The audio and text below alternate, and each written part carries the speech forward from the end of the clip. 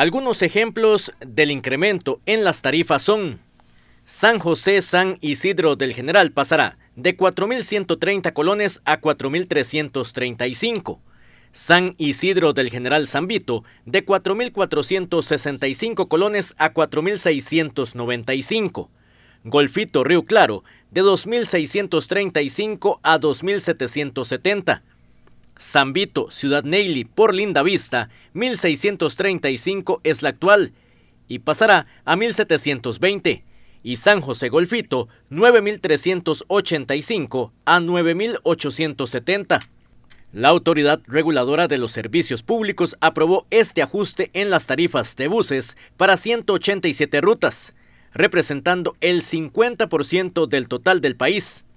Para este ajuste extraordinario que se realiza cada semestre, se toma en cuenta el precio de los combustibles, salarios, insumos y gastos administrativos.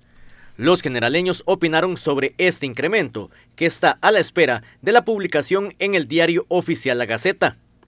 No, no, no estoy de acuerdo, la verdad. Sí. ¿Por qué? Por ahí el costo ya está muy duro, está muy duro, la verdad. Está esta situación está bastante crítica y no, no estaría de acuerdo a que suban ese, ese, ese, digamos, el pasaje, el bus, porque ahí todo está caro y no hay plata que alcance, la verdad. Ya he visto, yo no sé, ya, como está la situación, yo diría que quizás cuesta mucho.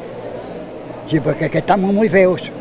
No hay trabajo en primer lugar y segundo, nadie ha trabajado, ahora mucho menos lo van a subir. Ya hay que esperar a ver nada más si lo quería Bueno, en realidad, ahí toca, toca. Hay que hacerlo, si hay que hacerlo y es una necesidad, hay que hacerlo. Es un poco desventajoso para los usuarios, como yo, de a pie, pero ¿qué vamos a hacer? tenemos que crecer, como siempre.